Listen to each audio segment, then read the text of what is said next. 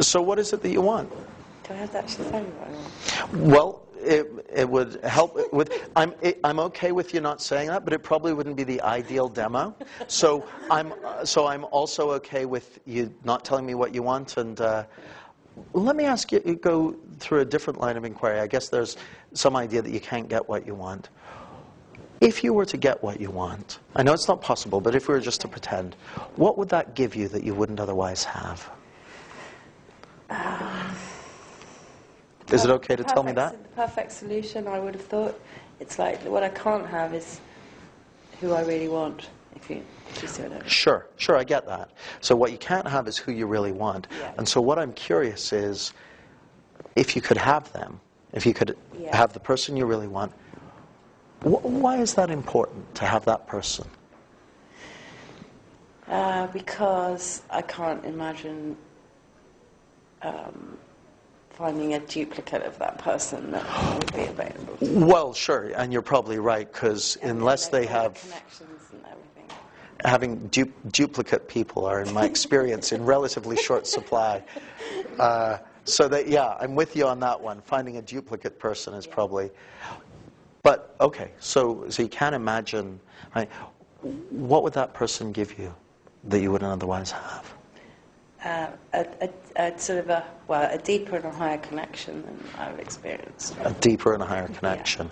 And why is that important? A deeper and a higher connection. Because it means you can really share things with somebody that you perhaps wouldn't be able to share with. So it means you can uh, really share things with somebody. So a deeper and higher connection.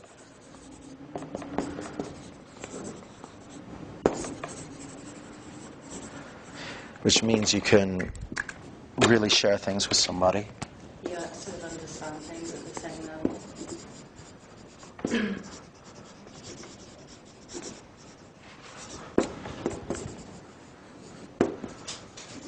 Okay, and being able to really share things with somebody and understand things at the same level, why is that important, Sue?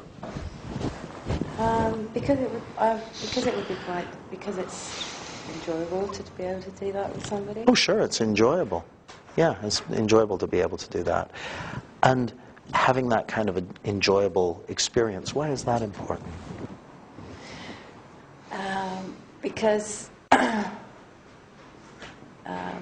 because there's only so much you can do you can do on your own. Okay, so it's enjoyable. Uh, because there's only so much you can do on your own. Yeah.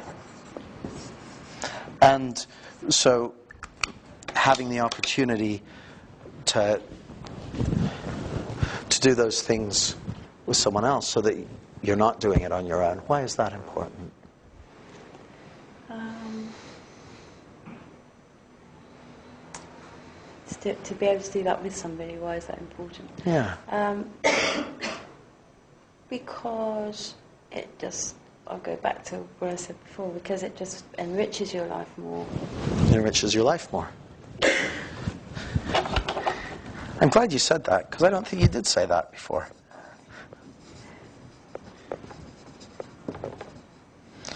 And having your having something that enriches your life more, why is that important? I know I'm kind of like a dog with a bone with this, but why is that important? Oh. Because it means you you can see different things, you can learn different things. You can see different things.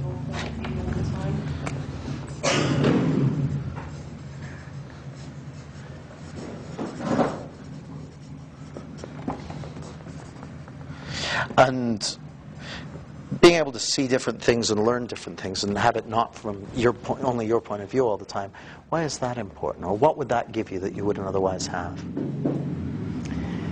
Um, I don't know what it would give me because it would require the other person to show me that. Ah, okay. So why is that important to have something that requires the other person to show you that? Because I just want to learn everything and experience everything. Oh yeah, me too. much as possible. That I don't want to limit myself to myself. So, why on earth, given that you would never want to limit yourself to yourself, why on earth would you only allow yourself to have these kind of experiences with someone you can't have? If you don't want to limit Yeah. yourself. Yeah, true. Just breathe into that. Just do me a favor, sit up and breathe. Yeah, that's right. And really feel it there in your heart and all the way through to your back. And just be present with those sensations. Allow yourself to feel them. And what are you aware of as you sit here right now, Sue? That I don't have to limit myself. Oh, that's nice to know, isn't it? Keep breathing. Okay. Keep breathing. One of the things, because those feelings that you're stopping breathing to try and suppress are the very feelings that are the gateway to the kind of freedom of learning and possibility for you. Yeah. That's right. Thank you. the unconscious communicates in mysterious ways. Can we have a round of applause for Sue?